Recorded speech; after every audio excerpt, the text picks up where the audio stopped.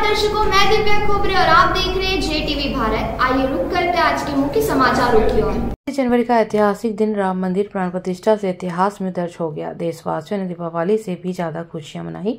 संदारा नगर को भगवामय किया गया। पूरे नगर सजाया गया। सभी मंदिरों में सुबह से ही पूजा अर्चना, सुंदरकांड, भगवान राम जी का अभिषेक, भजन कीर्तन आदि का दौर शुरू हो गया।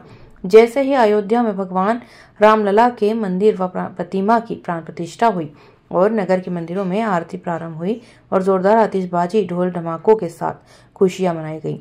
और सभी मंदिरों में प्रसादी का वितरण हुआ।